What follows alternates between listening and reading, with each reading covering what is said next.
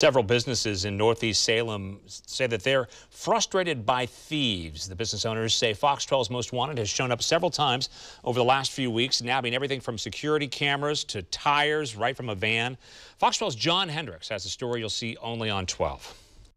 Well, here at the Athletic Edge Gymnastics in Salem, you're going to notice something. Something is missing. Somebody has stolen the security cameras right off the side of their building. Now, down the street, there is a van that's up on jacks. Someone's swiping the tires. Now, the folks here think that this is part of a crime spree that's all connected.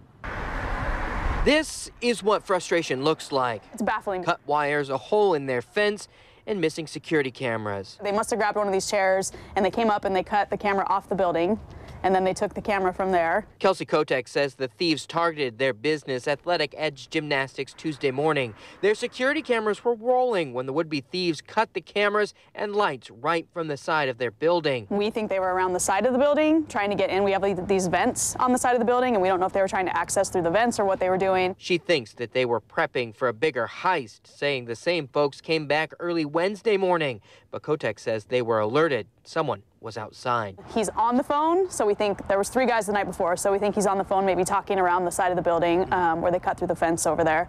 Um, and then within maybe three minutes, Salem PD was here. Police weren't able to find their suspects. Now, this story does not end here.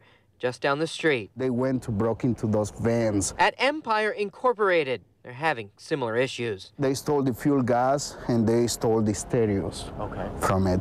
Um, they stole two stereos from it.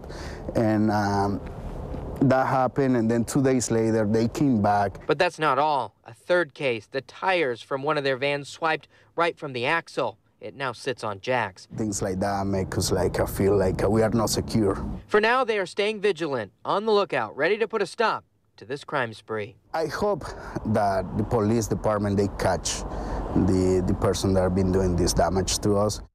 The businesses here on Madison think this is all the doings of one group of people. They think it's because of a similar pickup truck that has appeared in their surveillance video. Now, Salem police aren't quite sure yet if these are all connected, and they do have investigators on the case. They say if you know anything about any of this, to give them a call. Reporting in Northeast Salem, John Hendricks, Fox 12 Oregon.